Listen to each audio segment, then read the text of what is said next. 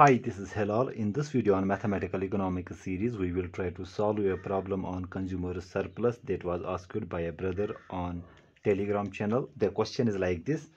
If the demand for a consumer is given by the function, we have the demand function for a consumer as P is equal to 27 minus 3x minus x square, where x denotes the quantity demanded, P is the price.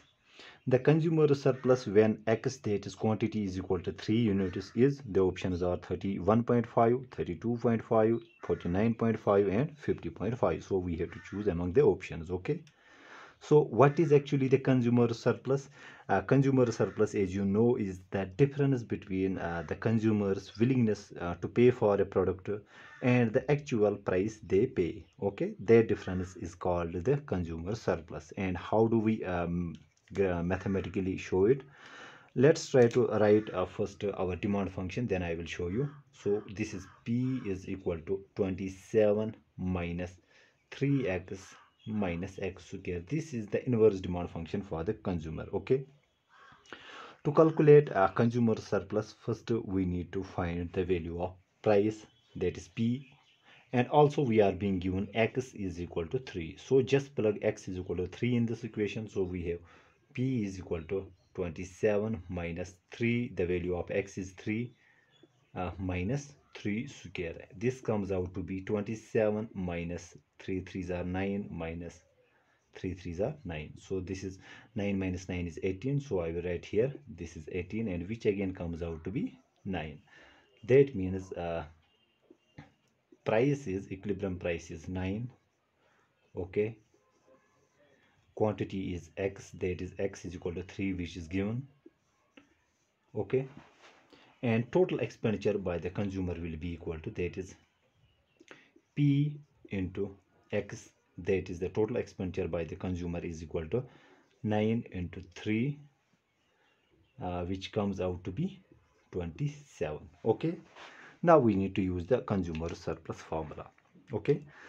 I will show it graphically first uh, so that you understand it very well. So let me draw the graph here. So let us uh, draw graph on this axis axis. Uh, let us say we have quantity quantity on this axis okay and price on this axis okay. We are being given the demand function okay and uh, it is not linear one so i will um, make it like this let us say this is our demand function okay? What is uh, the equilibrium quantity? Let us say x in place of quantity uh, is being denoted here by x. So x is equal to 3 and price is 9 okay? Then what is the consumer surplus graphically graphically consumer surplus is the area which lies below the demand curve and above the equilibrium price. Okay? This very uh, part is called this very uh, uh, looking like a triangle shape although it is not a triangle. Uh, the area of this very uh, figure denotes the consumer surplus. Okay and we know it is the difference between the consumer's willingness to pay for a product and the uh, and the actual price they pay okay? So this is how do we uh, form the consumer surplus graphically okay? So what is uh, the formula for consumer surplus? Consumer surplus is given by the definite integral of from 0 to equilibrium quantity. Here we have x and integrating the inverse demand function with respect to x okay? And to this we subtract the total expenditure. That is uh, price into x okay? Let me write it in brackets not to be uh, confused uh, whether this is uh, in the uh, integral part okay? So it is outside of this very integral part okay? Now uh, graphically what does this portion mean? Let me draw it here if I have the space available. Graphically it shows us let me draw the graph here. It shows uh, the area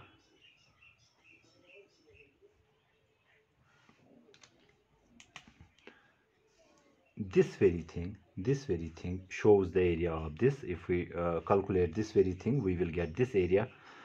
From that we need to subtract the total expenditure. And graphically what is the uh, total expenditure? Uh, 9 into 3 that is 27 that is price into quantity okay? And when we subtract uh, this very area from this figure we get uh, let me draw it here we get uh, this very area. Okay?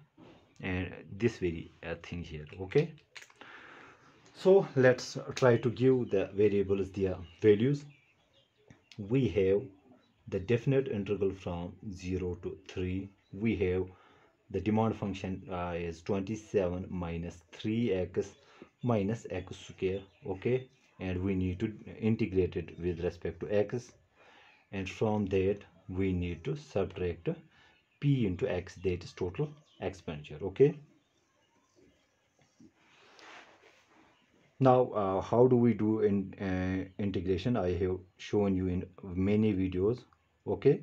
So i will not go into the details here. The uh, integral of 27 with respect to uh, x will be 27x so we have uh, 27x minus uh, 3 into the uh, sorry the integral of x is x square upon 2 okay by power function rule minus the derivative of uh, x square will be x cube upon 3 okay and we have to evaluate it from 0 to 3 that is equilibrium quantity minus total expenditure p into x p into x we calculated it came out to be 27 okay? Now let us uh, give me uh, let's uh, try to see how do we use the integral here. The integral of x to the power n if we want to integrate this how do we integrate? We just uh, write first this x this n okay? Then what we do? We just uh, add exponent by 1 okay? And divide by the resulting exponent that is n uh, plus 1 okay? So x raised power n its uh, integral will be x to the power n plus 1 divided by n plus 1 let us say we have x to the power 5 its derivative will be x to the power 5 plus 1 upon 5 plus 1 okay? It is very simple. That very rule i have used here okay? Now let me uh, rub this out i hope you are liking these very videos. Uh, if you want to donate to this channel you can see the basic info there. You can get uh, the paypal account detail just to donate if uh, in case if you like these videos and if you are willing to. Otherwise it is not necessary. Just if you want to support this channel. Okay? So uh, consumer surplus is this very thing. Now just evaluate uh, this in these very terms uh, at uh, at the upper value that is 3 that means 27 into 3 minus 3 uh, x square 3 square 3 square upon 2 minus x, the value of x is 3 so we have 3 cube upon uh, 3 okay we have first evaluated uh, uh, these terms at upper limit. Then we need to subtract and evaluate it at the lower limit. Since uh, 0 is our lower limit 27 into 0 will be 0 uh, this very term will be also 0 because x is involved and the value of x is 0 here also it is 0 so we don't need to evaluate at the lower limit because it will come out to be 0 and then we have minus 27 okay so 27 into 3 3 sevens are 21 3 twos are 6 7 8 this is 81 minus 3 threes are 9 threes are 27 upon 2 we have here minus 3 threes are 9 threes are 27 upon 3 we have this and then we have 27 okay? So consumer surplus is this.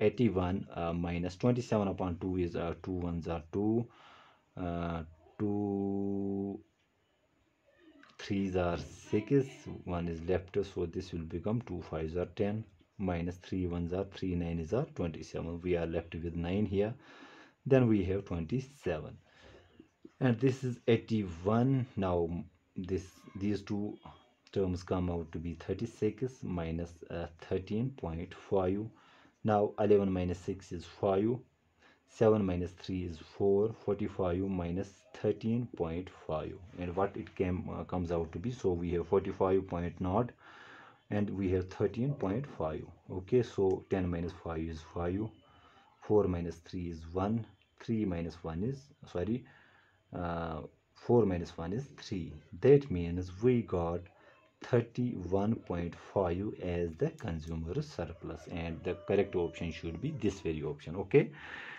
and what does this very area tell us? This whole area is actually this very thing. That is 0 to 3 uh, 27 minus 3x minus x square okay? Dx this very area denotes this very part? Minus uh, this very part denotes the total expenditure? That is 9 into 3 okay? Which we have here p into x. And what we uh, get from this if we subtract uh, this very uh, uh, quadrilateral or whatever it is here square or rather a triangle if we subtract this um, rectangle from this very area we will get the area of this very uh, triangle like shape okay? And that means the area of this very triangle uh, looking like a triangle although it is not a triangle here. This comes out to be 31.5 why it is not a triangle? Because we don't have a linear demand function. We have uh, somewhat uh, somehow like a quadratic uh, type of demand function. Okay i hope i make myself clear in this video. Thank you